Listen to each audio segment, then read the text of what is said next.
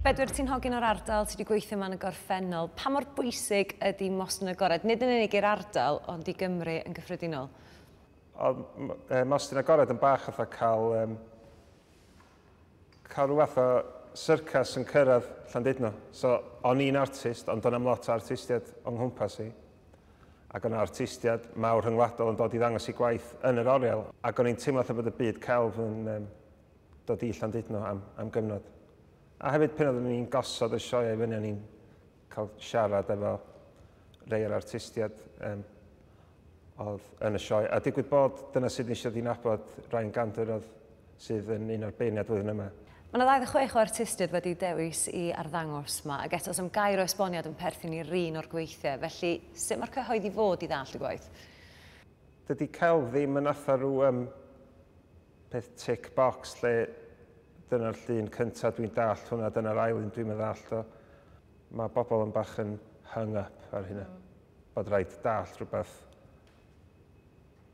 ar ei terma nhw rwan. Fel a dydy bywyd ddim fel yna, chdi. Atha, os fyswn ni'n mynd i um, rhyw vintage car rally, fyswn ni'n mynd dall pan fo wing mirrors un car lot gwell. A, a neb i esbonio i fi chwaith am hynny. Mae'r mae bywyd yn gymleth ydy, a mae celf yn uh, adlywyrchu hynny. Achos dwi'n gwybod, ti wedi bod yn feirniadol iawn yn gorffennol. Da ni'r Cymru allan yn wedig yn disgwyl i bob dim fod yn hawdd. Da ni eisiau bob dim ar blat. Pa mor rhwystredig ydy hynny i ti fel artist?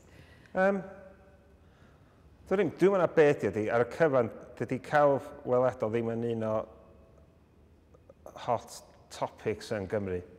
Chos um, mae barddoniaeth yn, mae canu, yn eich pobl eistedd yn babell len yn rw ac yn clapio pethau. Dwi'n siŵr na dydy cant yn nhw allan o bob sitting ddim yn ddall. A fos nhw beth yn cyfadda bod nhw'n dall sut, um, os di cywydd yn rhywbeth, dwi'n mynd dall, dwi'n meddwl beth dwi'n sôn amdan. Ond, um, ia, mae, mae, mae o'n oce okay yn Gymru i ddeud, dwi'n mynd dall yn byd am gelf weledol. Mae hynna'n, mae'n dangos chi fel person, uh, ia, un o hogio'r wer yn di, dwi'n meddwl all, do. Mae'n rhaid na rybys, di, o beth pos, di. Sydd yn, uh, yeah, mae hynna'n simplistic iawn, dydi. Ond wyt ti'n croesawu felly bod nhw yn cynnal teithio tywys? Twa, ag, ag yn trio gwneud o'n fwy apelgar ac yn fwy agored i'r cyhoedd? Dwi'n dwi, dwi wedi dweud bod, um, bod o fyny i'r unigolyn edrych i fewn i bethau. Dwi hefyd ddim yn cytuno efo um, er, y galeri guides yma sydd wedi sgwennu mewn iaith um, rhy gymleth. Mae yna beth wedi bod yn ddiweddar, gath y bapur i sgwennu blwyddyn o, gath nhw sôn amdano y Guardian yn ddiweddar, amdan yr uh, art English, neu beth maen nhw'n galw o, sef ffurf arbennig o sgwennu am gelf sydd mae'n bach o word salad. Dydy o'n golygu'n byd, dydy geiriau cymleth i ddisgrifio rhywbeth. Um, a dydy o ddim yn gwneud hynna'n llwyddiannus. So, os ydw i'n gorau sgwennu disgrifiad yn waith i roed i'r oriel i, i, i ddangos i'r cyhoedd, dwi wastad yn trio neud hwnna'n rhywbeth uh, hawdd i ddall. Twa, un o'r darnau sydd wedi ticlo fi ydy'r, mae ma, ma, ma pisyn o waith yma, mae'n anweledig, fatha y, y weiren yma, y tripwire. O ti'n mynd i weld o, yeah. prim bod ti'n gwybod bod o yma ar wahan i'r... Os ti wedi gweld yr esboniad ar y wal, iawn, ond i barad efo hwnna ddarn o gel ty bedwyr, achos ti'n mynd i weld o, ydy'r syniad ydi'n go'n cri? Yndi. Mae'r ffaith bod chdi bod o trafod chdi, dwi'n meddwl, mae'r syniad bod chdi'n dychmygu bod yna tripwire rôl yn yr adeilad yn...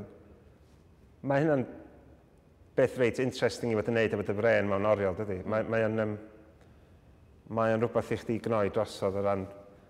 Tod, ydy o'n mynd i newid sydd ti'n cerdd o gwmpas a ti'n chwilio amdano fo falle. Dwi'n meddwl bod... Um, dwi'n meddwl bod yn gysyniadol mae hwnna'n syniad da. Felly pa ddarn o waith sydd wedi cydiad yn y tu? Mae rhaid i ddweud bod dwi'n licio'r gwaith a ennill Er, um, yr er aftershave mae mewn atha, atha rhyw splash di cerfi allan o, o bren. I fi bersonol, oedd Llandudno ar ôl ni'n dod allan iddo fo pen o'n i'n yn arddega i uh, fynd i pubs a falle.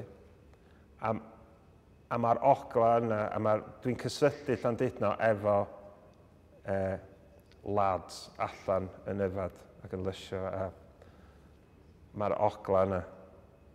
Mae'n ma, ma, ma rhywbeth amdan uh, aftershave dynion sydd mae o'n awgrymu rhywbeth mwy sensitif nag ydy'r bwys dwylod sy'n gwisgo fo, ynddi. Mae ma yna rhyw baboons allan mewn Chris y rygbi, a dyna os da chi wedi sniffio nhw, mae yna atho hogla rhyw uh, berllan neu rhywbeth yna nhw, a maen nhw'n anything but. Mae'n ddifur bod ti wedi dewis yr un tamed o waith a, a'r tri oedd yn dethol. Ydy hynny'n awgrymu ella da chi gyd yn meddwl yn yr un un ffordd, achos bych chi'n dod o gefndi'r celf, achos dyna fydd yn ddiddorol ynda, ydy sut mae dewis y bobl yn mynd i gymharu hefo dewis yr heithgwr. Dwi'n meddwl bod uh, cael dewis y bobl jyst yn rhoi drwy um, uh, e, ongl arall i sut mae'r uh, e, sioe yn cael ei, um, i weld mewn ffordd. A weithiau dwi'n meddwl um, bod penderfyniad y beirniad yn, yn yn asio efo be mae'r um, cyhoedd yn feddwl. A weithio ddim o gwbl. A dwi'n meddwl bod yr, um, yr, yr gofod yna, wrach rhwng dau benderfyniad holl o wahanol, yn, yn ddiddorol i sbio i fewn i fo. Achos um, os di rwy'n meddwl amdan efo cerddoriaeth bop, yn y 60au, mae'n siŵr bod be oedd y cyhoedd yn licio, be oedd e, bobl oedd yn e, critics, sgyrraedd yn licio eitha agos at ei gilydd, Ond wedyn mae yna gyfnodau yn dod lle mae pobl yn gwrando ar steps o falle, oes? A pwy sy'n dweud bod y cyhoedd yn iawn at y gynnu? Mae'r cyhoedd yn watcho splash ar y teledu, felly. A dydy hwnna yn, yn dyledu gwych, a mae dwi'n wylio fo, a mae bobl yn mwynhau. So dwi'n meddwl bod mae yna wastad disconnect oes rhwng be mae'r cyhoedd licio a be mae arbenigwyr yn licio. Mae, um, mae beth sy'n ennill y Booker Prize yn wahanol i beth sy'n ennill y be bynnag Richard and Judy Big Print Easy Read Prize neu bynnag diwna.